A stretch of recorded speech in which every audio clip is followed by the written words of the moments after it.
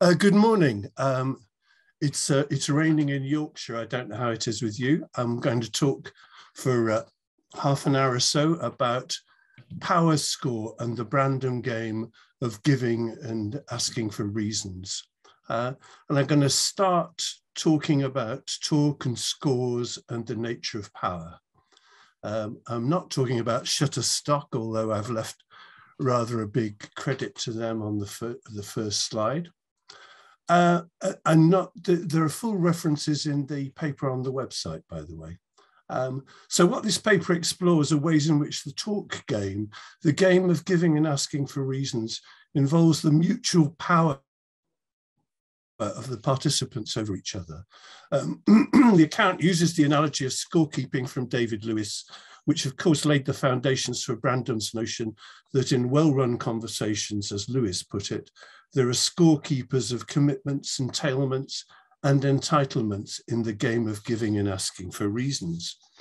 Uh, Lewis's example was baseball, which is a Brit I don't understand. So here's a game I do understand, cricket. When you look at the scoreboard, you think, my God. Uh, I, my mum used to say, clear as muck.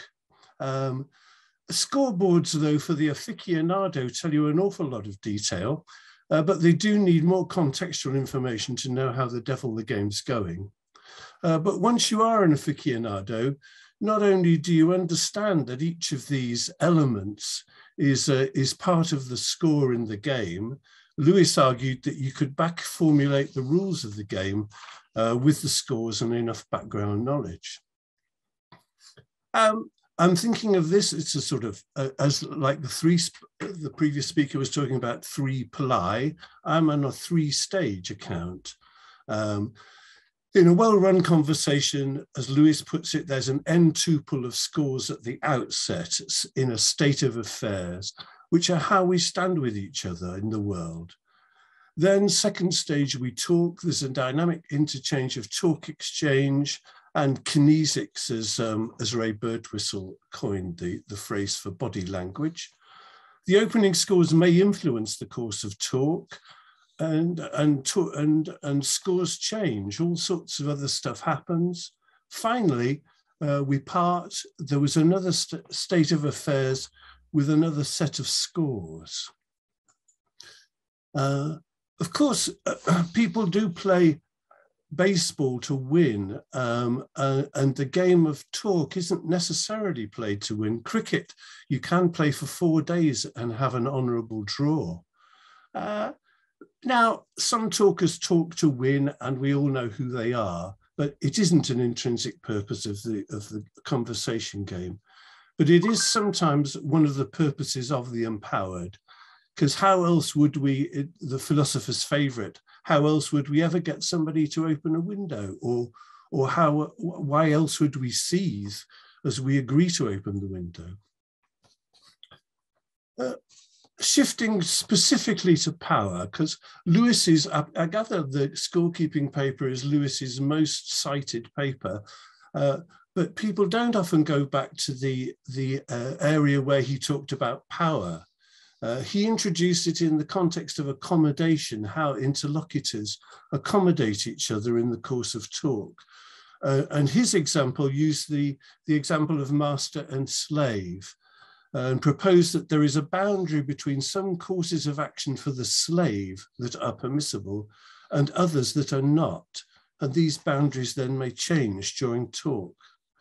Um, uh, accepting the general notion of accommodation, I'm going to begin instead with an equality presumption, uh, which is a dyad just for simplicity's sake between you, the utterer, and V, the vocalizer, who also, of course, are listeners in important ways. What is power in this context? Well, I'm not, I'm going to delve into it a little bit. I'm going to take Susan Fiske, who's a social scientist who's devoted a lot of her working life to the question of power. Uh, her, her, her definition of power is asymmetrical control over resources. Um, so let's look at three issues in, in, that, in that definition. What resources are we talking about in talk? Of course, we are mainly talking about linguistic resources, like the power to speak, to be heard, to listen, to use or not use certain words, taboos, although they do, of course, interact with the non-linguistic resources, because when I ask you to open the window, your body moves to open it, uh, or refuses, as the case may be. Um, and indeed, that's part of the Sellars-Brandom pattern of, of how we get into and out of talk, from perception to talk to action. Second issue with her, um, with her definition is about the basis of power, um, uh, which may be hierarchical, uh, institutional in a broad sense, including the family, say, as an institution. But she did add to that definition, status is social prestige. Now, you can just have status by being on Love Island um, uh, or being famous. So sometimes status and power are hand in hand, but sometimes, as in the case of experts and the hierarchy over uh, what to do with the coronavirus, for instance, sometimes experts and the hierarchy compete. Uh, and furthermore, within, uh, when we think we're in an egalitarian state, um, something about our characters mean that sometimes some people exert power and some people defer. The third issue is uh, just what power is over or about. Um, now, for, for, uh, without going too far into the debate about power, uh, obviously in, in talk exchange, power is power over or unpower over. And I'm accepting here Pansardi's idea that power to, which is sometimes thought of as a competitor to power over, is also relational, even if the social relations that that, that sort of power depends on are often left implicit. Um, just to start on talking about talk, here's an anonymous extract from the British National Corpus spoken, sometimes you want to be really unsociable. Like a lot of the time, I come from the work and all I want to do, don't want to talk. No, all I want to do is eat my food, do whatever I wanted to do for that evening. I'm trying from that ex extract to, to say talk is part of our form of life. We grant permission to talk, or we, we seem to agree to listen without even thinking about whether we grant or agree. Um, we just do talk. And that's what makes the recalcitrant teenager such a dissident because those who refuse to talk by saying words out loud, I'm not talking to you, they're still playing the game. But not to engage at all, that would be to reject the talk game, to knock the chessboard off the table. So usually there's a background hum, I'm trying to say, of tacit permissions and obligations. What do the scores look like? While we've talked obviously about numbers and scoreboards, Lewis said that his scores were abstract entities. They may not be numbers, but they are other set theoretic constructs, sets of presupposed propositions, boundaries between permissible and impermissible courses of action, or the like. So some of this power score that I'm talking about will be about those permissible boundaries, and some of them are hidden down there in the like, uh, like relative institutional position, status, force or compliance of character, physical strength. And within all this, equality is an option. I'm just glancing here as well at really following on from, from Lewis's talk about set theoretic constructs that we could formalize how, how this process is. Uh, and indeed, this, this uh, example I've, I've uh, chosen uh, out of deontic logic is very much uh, parallel to what I'm saying. S is an initial state of affairs. Uh, S mark is the subsequent state of affairs, and there's T, a transition, um, and a function goes from S to S1. But I'm not going to dwell on that. I'm sticking with ordinary words. Uh, so what happens uh, when we when we start talking? Um, uh,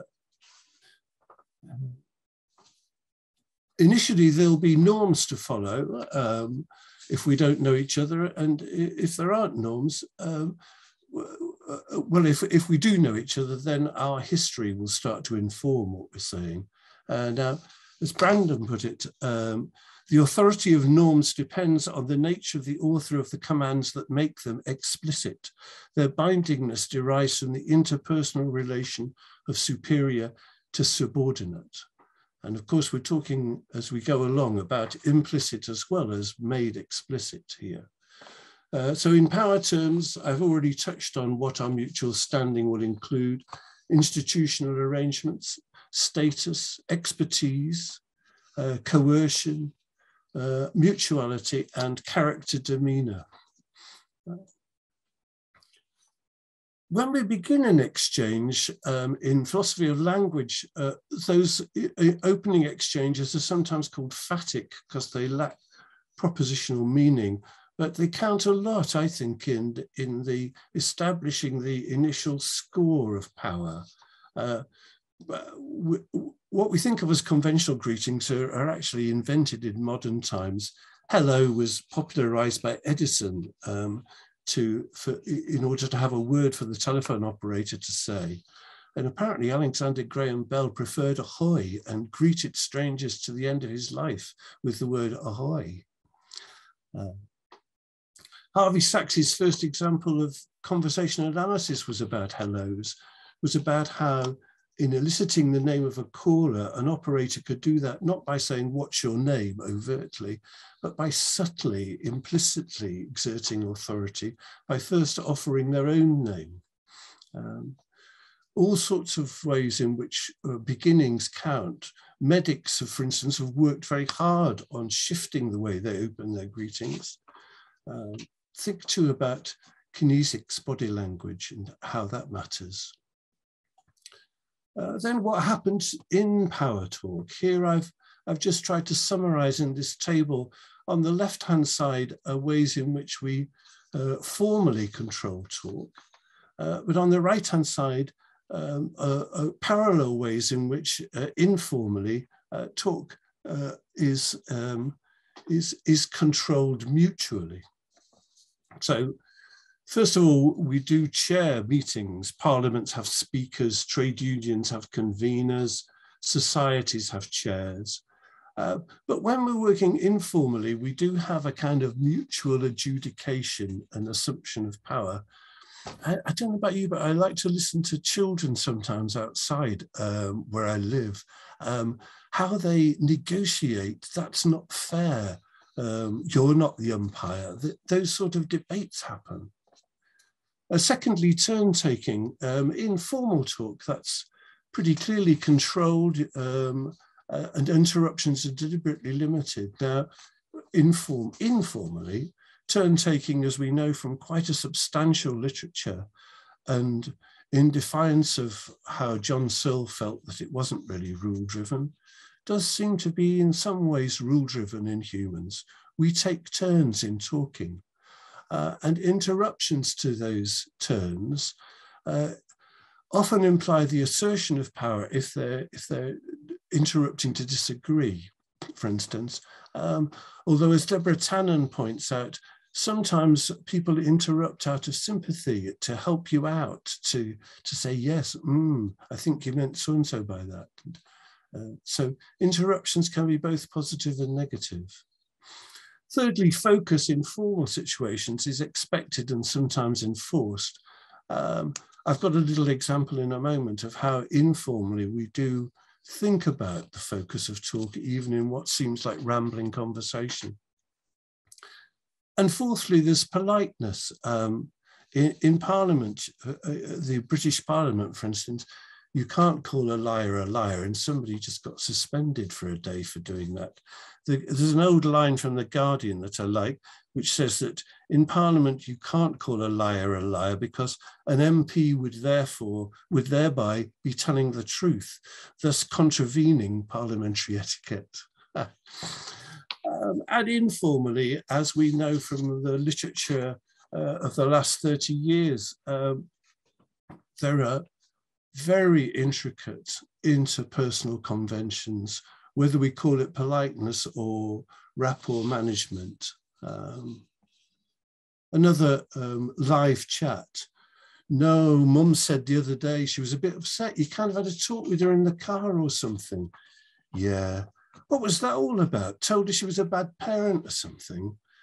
No, I wasn't saying that. I was just saying, like, how do I, how do I go into it? Um, well, don't talk about it if you don't want to.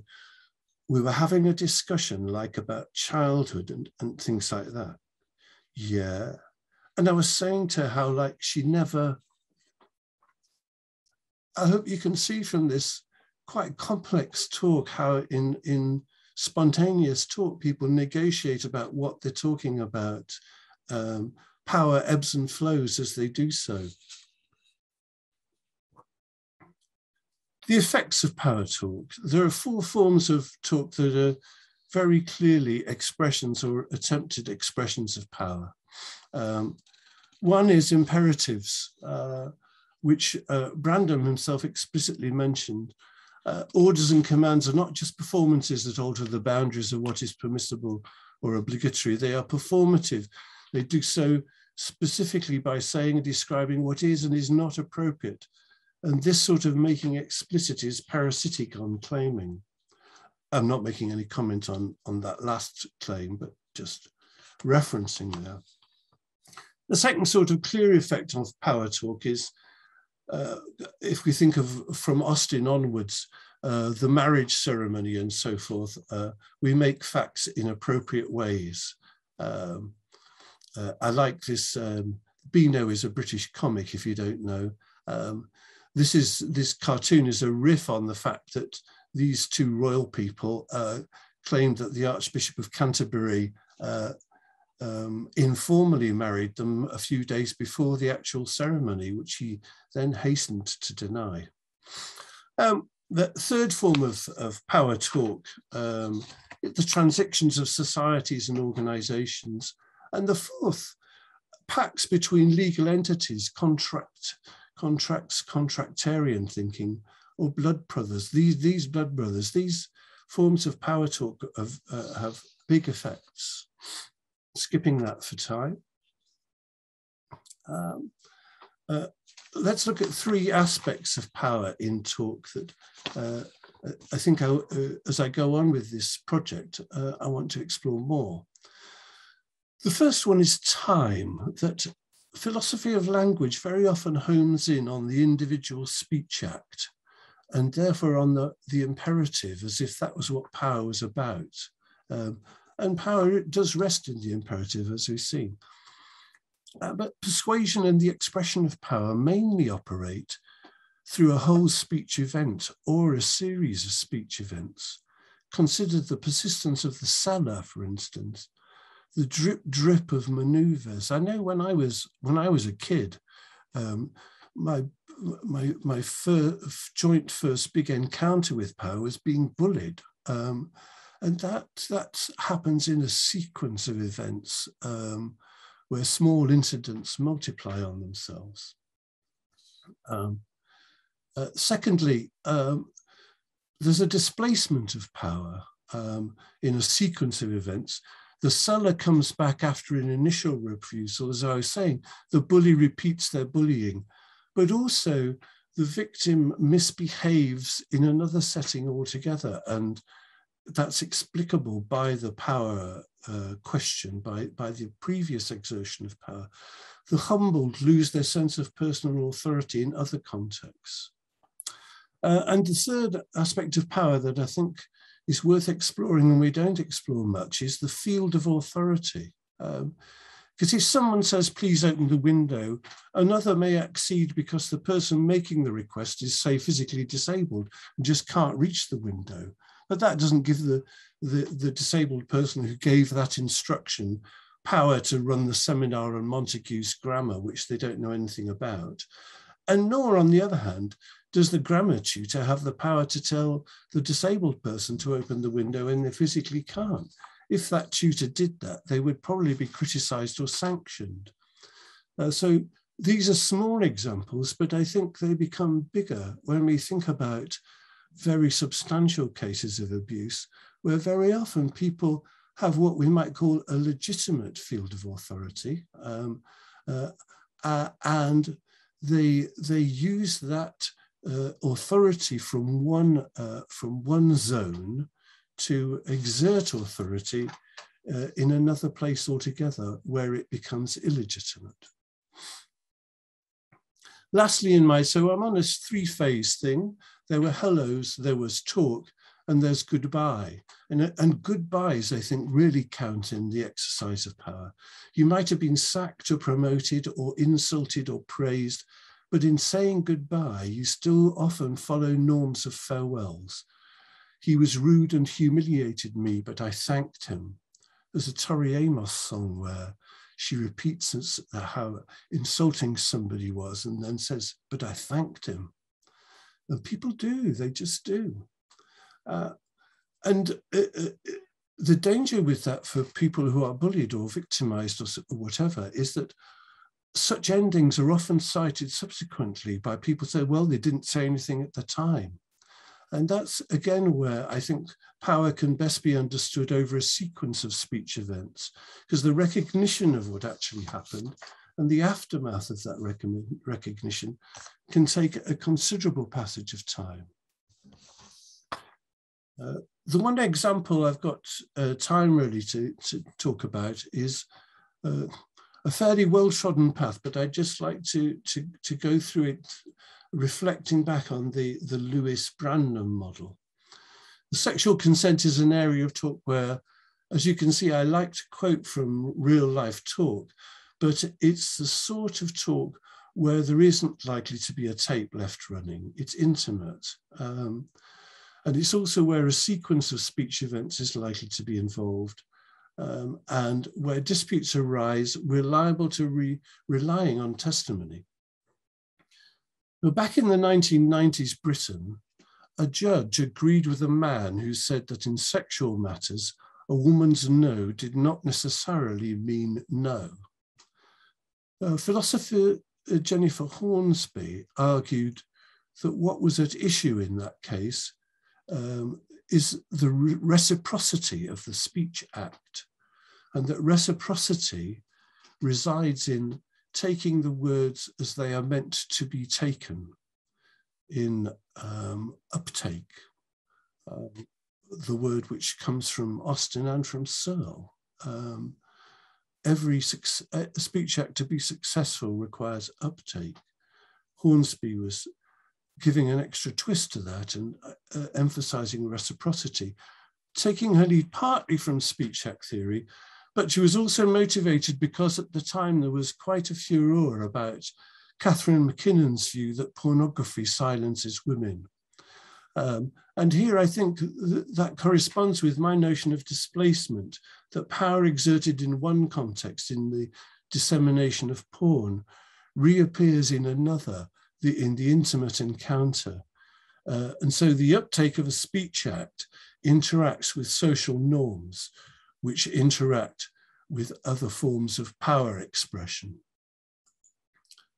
Uh, this on the right-hand side uh, is a, the original Me Too tweet by Alyssa Milano, uh, which gave rise to the, the hashtag Me Too. Uh, so I'm suggesting that, that uh, uh, in consonance with my model, um, Harvey Weinstein had a field of authority, film production. Um, and he was, he was brilliant at that. Um, let's face it, he was a trailblazer. Uh, and in that field, working from that field, what he did was exploit the old norm, salacious norm of the casting couch, to claim that this field of authority extended to the sexual arena. And in that, he resembled, as I was suggesting earlier, those religious and educational and familial figures who have been found guilty of abuse, claiming one authority role as reason for exerting it in another. Um, uh, there was, uh, people may be less aware um, uh, that uh, earlier than Me Too, in the early 2010s, there was a Scandinavian scandal which was known in, in, translation as Talk About It, which followed allegations about uh, the activist Julian Assange and hinged on questions of, of, of um, assault while uh, sexual assault while asleep. Um, uh, and this gave rise to a, a, very big debate, mostly among Scandinavian women, um, and, and books and articles were written. Um, and dreadful as, as, the, the, as the events that they were recounting, the abuse that they were recounting was, the outcome, one commentator regarded the subsequent public debate as positive feminist knowledge building. Uh, just as in the case of Me Too, Brynjarsdottir, who, who is the co-editor of the Routledge Handbook of Me Too, she called Me Too part of an epistemic resistance movement. Uh, I think that Me Too and the lesser known talk about it are, in this sense, um, interesting examples of how uh, public norms can shift thanks to public discourse. Um, and that, that, uh, that shift in public norms um, uh, then can have an effect on individual speech acts and, and speech events. Um, uh, power as reason in talk exchange changes um, uh, as the as the norms shift.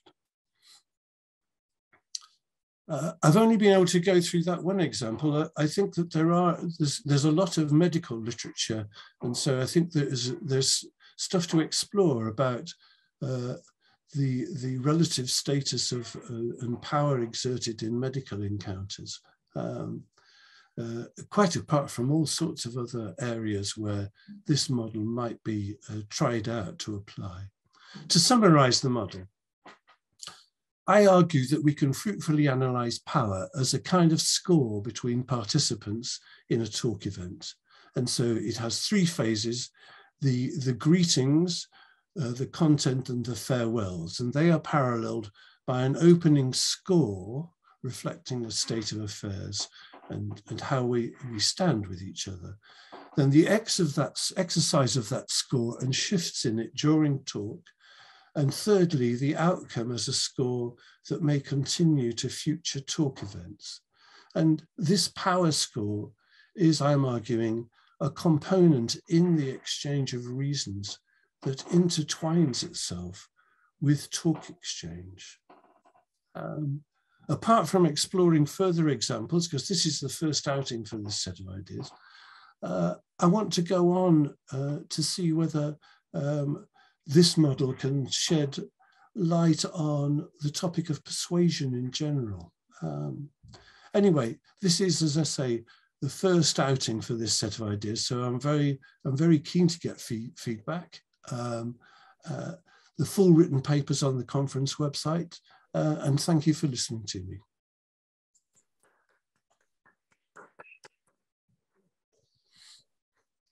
Okay, so we'll take questions again. Yeah, Jeremy.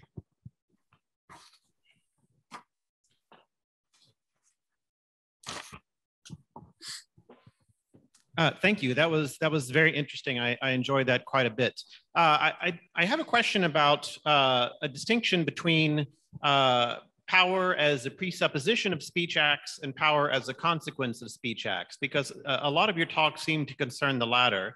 And I'm thinking about power as it's construed by people like, you know, Bourdieu or Foucault or people like that, whereby, you know, being you know, if, if you want to put this in Brandomian terms, I'm thinking of you know Brandom's article "Freedom and Constraint by Norms," where you know a norm is, is, is a kind of power and that it constrains, and you know, from this perspective, being embedded in a network of power relations is a presupposition for being an agent in the first place and being able to engage in speech acts, because only insofar as you are bound by norms are you capable of engaging in any sort of interactions at all.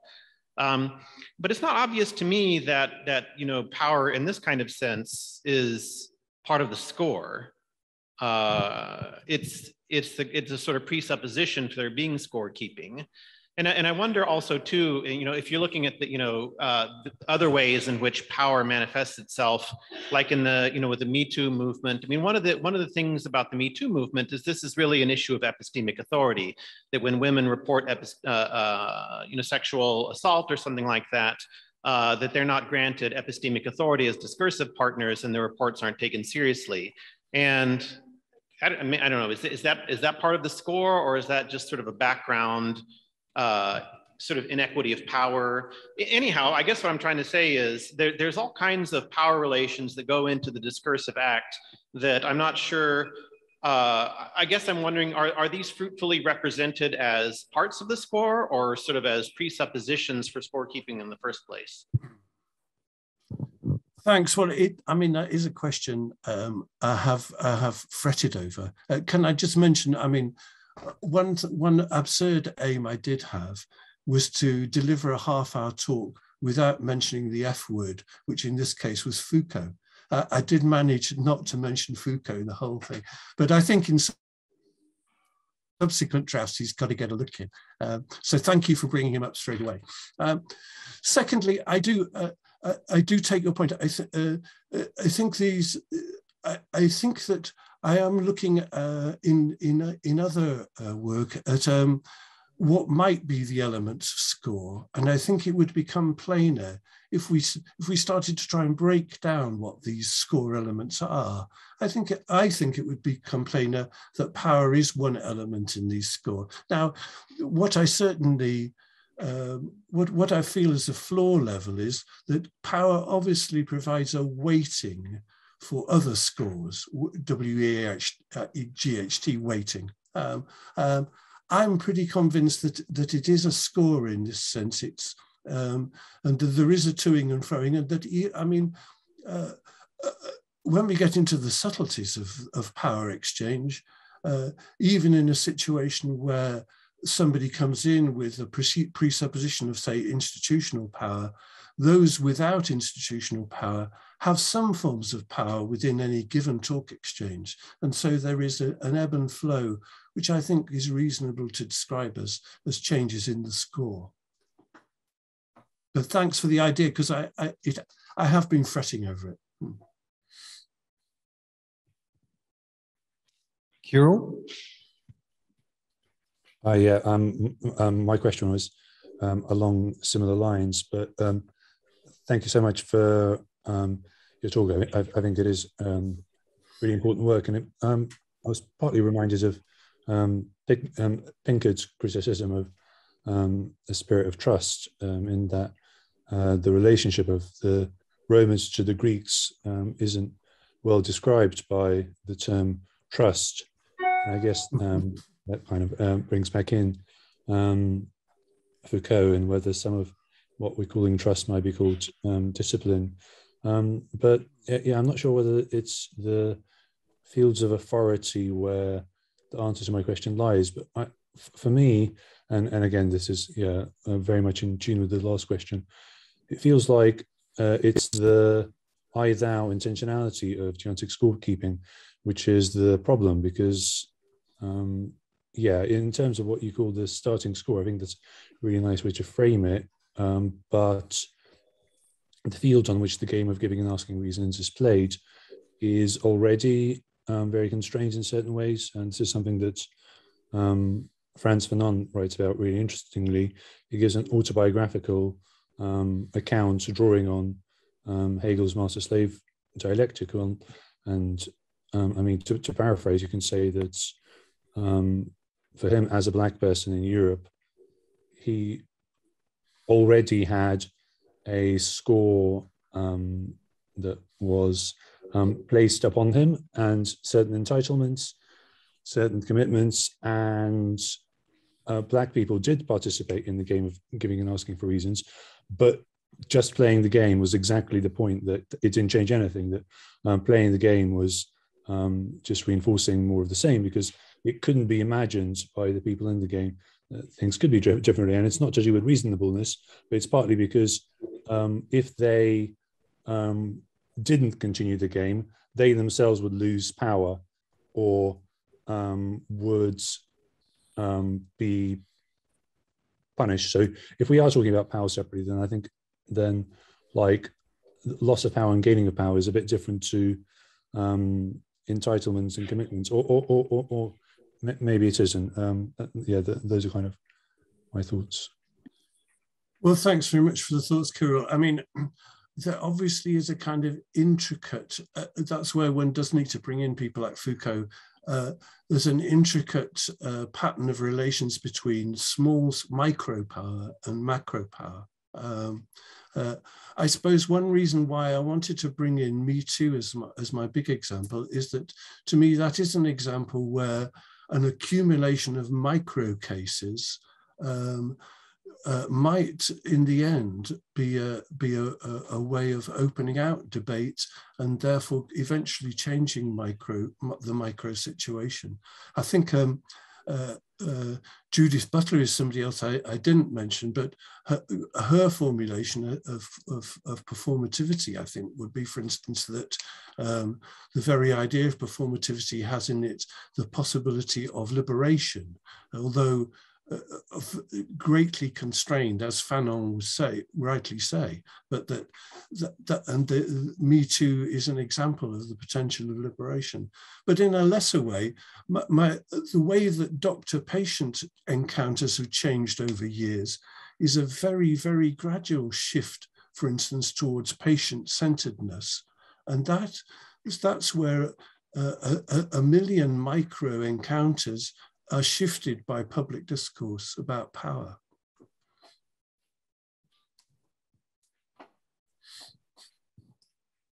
Is there a question down here? Yeah, yeah please. And then Jakob. Uh, thanks for that. Um, I wonder if um, analyzing uh, the social interchange of reasons in terms of power relations doesn't um, distort, or maybe in, in many cases, just leave out the epistemic dimension of giving and asking for reasons. So consider um, two different cases of a professor interacting with a student. Imagine that there's been an assignment to just explain, I don't know, some philosopher's view on something or other, explain what goes on in a certain piece of text. And the student has written something which just gets it completely wrong. I don't know, describing Descartes as a physicalist and goes on from there. And in the first case, um, the faculty member sits down with the student and the text and goes through it systematically and tries to explain, here's what's going on in this passage and see what he says here and so on, until the student comes to understand what's going on there and sees why what he wrote was mistaken. And in the second case, um, what happens instead is the professor says, hand in that again, and I'm going to fail you. Here's what you need to write, write it or else. now, the second case is a, you know, just brute exercise of power. Um, but if one looks at the first case and one's thinking about power relations, well, then certainly the professor has power over the student. And the professor is using the power of the student in order to get the student to say something different. The two cases look alike if you're just looking at it from power alone. And yet it seems to me that there's something importantly different epistemically going on in these two cases. And it's not that power plays no role in what you might call a good case. Um, um, but rather an epistemic analysis of what's going on will um, uh, look at different features of that interaction. And if one just looks at it from the perspective of power, one misses those important differences. Well, thanks very much. I, I mean, that, does give me the opportunity to say that while I have singled out power as an element in this talk, um, but I am, I am thinking of it in the context of a number of elements of score, of which power is one. Um, so that's, that's my first point. Uh, the second is, I think that, I mean, uh, I think your example is very illuminating because uh, the, the, the professor who who who, gui who guides the student uh, by reason, but also by virtue of their power relation with the student um, is is uh, is uh, does does reach um, a, prefer, a preferable epistemic state, I think you're arguing, uh, for the student than the, than the second case where of authoritarianism. And I completely agree with that. And so I, I agree that any account has to show that. And uh, I'm sorry if I didn't show that. Um, it, it, reminds me of, of, a, of, in the written text, but something I didn't have time for. Uh, I make a glancing reference to a paper by Kukla a few years ago about sexual sexual talk, where she talks about how we overemphasize. Uh, we in the we've we've talked too much about um, these the cases of lack of consent, and what we need to talk is about what happens when it works. Um, and I think that your first example is a, an eminently good example of that. And, and her her account, their account, I beg, I beg their pardon, their account is is good in that we need to look at how how uh, the exercise of power in some cases is benevolent when married to um, epistemic justice.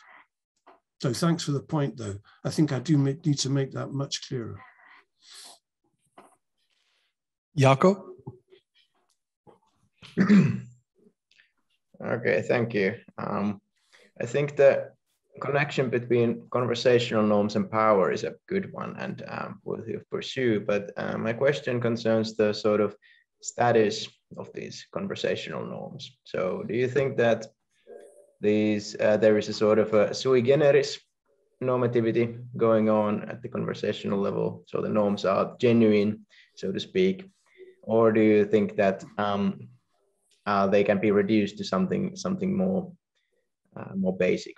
And there's sort of two two uh, examples from literature, which I think could be a good contrast here. For example, the uh, book called Explaining Norms by Geoffrey Brennan and some other authors from 2013 seems to give an explanation of social normativity that um, basically works by explaining norms as expectations of norms or what people believe that other people believe in the community should be done. And that's sort of a sort of a reductive account of the conversation. It could be used as a reductive account of conversational normativity. On the other hand, there's the book by uh, Quill Kukla and Mark Lance uh, from 2009, the Yo and Lo book. Yo and Lo, yeah. Yeah. Mm-hmm. So and and it, it's it's it's my understanding that they offer a sort of a more Brandomian sui generis account of these conversational norms, which uh, they they are irreducible to, uh, for example, the beliefs and uh, second order beliefs. So, what's your uh, sort of status with, between these two alternatives? Uh, I, I, to be honest, I haven't got a firm view. Um, I, am certainly much more inclined to the Brennan view that that while I'm I'm picking out power because I think, um, especially in where I come from in in, in analytical philosophy, it, it's not explored much. So I wanted to highlight it. Um, but I do think it fits with uh, some other sets of sets of norms in in the way that that, that you've outlined. So um, I don't know whether reducing would be exactly the word I'd use, but that that it's that it, it, it fits might fit systematically into an account of norms in general, um, uh, and so uh, and I think that that fits better with the um, the I thou as, as somebody a, a, previous questioner put it, uh, the I thou situation of of talk. Um, uh, that, that a number of a number of things are in play. There are, for instance, kind of emotional norms, and then uh, uh, the way that people in any given encounter differ from the norm. Uh, I, I, think those are very, those are interesting alongside power norms, and and they can be analysed in a parallel way. So that's that's that's my rough and ready answers for now. Thanks for the question. Yeah, thanks. Okay, so uh, we're at the end of this session. Let's thank Alan again, and we'll take a 10 minute break and start at 1220. Thanks. Thanks, Preston. Thanks, everyone.